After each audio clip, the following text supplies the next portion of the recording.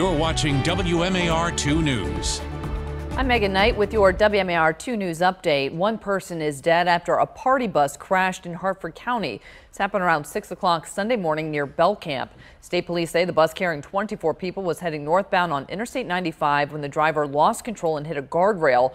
One passenger died at the scene. The others were taken to the hospital. No word on what caused the driver to lose control. A deadly double shooting in North Baltimore. This was just before 1230 Sunday morning when officers responded to Reisterstown Road and found two men who had been shot. One died at the hospital. No word on the condition of the other victim. Meanwhile, a 17-year-old girl was shot on West North Avenue. Investigators say Saturday night, the suspect began talking to the teen in, inside of a business. She and her friends then told the man they wanted to be left alone. That's when he followed the group and shot the girl. She is expected to be okay.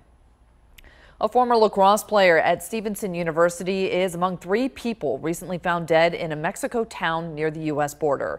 Callum Robinson, along with his brother Jake Robinson and their friend Jack Rhoad, were all reported missing on April 29. They were in Mexico on a surfing trip. Their bodies were found on Friday in a well in Baja California, Mexico, just south of California. Callum was from Australia and graduated from Stevenson in 2015.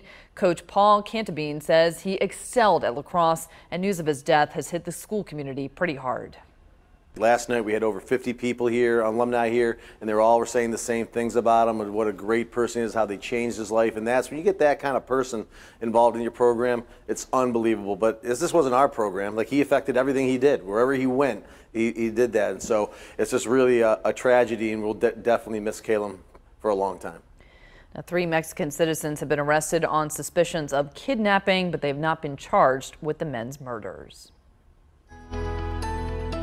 Well, we're dealing with warmer air out there, and yes, temperatures are back into those mid and upper 70s. You'll also start to see a few rain showers and a couple rumbles of thunder as we head in towards the afternoon and evening time frame, thanks to a lot of this moisture still hanging with us. All part of this larger system that keeps us quite mild as we head in towards the overnight hours as well. You'll notice temperatures still hanging around those mid to low 60s, especially closer towards the Baltimore metro area and then even warmer as we head towards the eastern shore. But this setup continues for us into the week. You'll notice that temperatures hang around the upper 70s, low to mid 80s as we head into Wednesday, then back to the 70s. But keep in mind that we still see rain and thunder showers possible throughout the week as until about the weekend. Megan? All right, Caesar, thank you. And stay with WMAR2News.com for updates to stories throughout the day. And for your news and weather while you're out and about, make sure you download our app.